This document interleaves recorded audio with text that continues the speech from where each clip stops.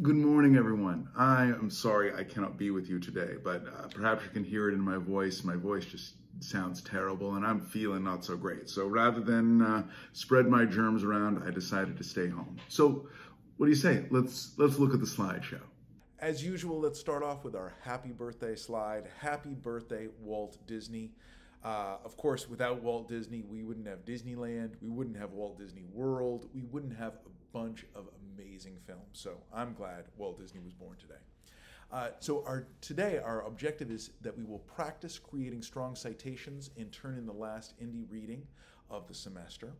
Uh, we've got a NoRedInk assignment, and this is in Schoology. And I just want to remind you that NoRedInk is designed for you to get a high score. It gives you tools, it gives you help to get to that place where you can get that 10. So please focus, do the work, and improve your score.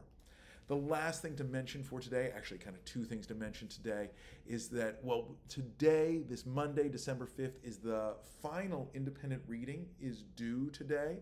So get something in. Getting something in is better than getting nothing in. And then the other thing, just to remind you of, is that last week we did a reading one, reading two assessment. And this is really important for a lot of people's scores. So if you didn't get a chance to turn that in last week, make sure that you turn that in this week. So once again, sorry that I can't be with you today. Uh, I wish I was feeling better, but we'll see you later this week.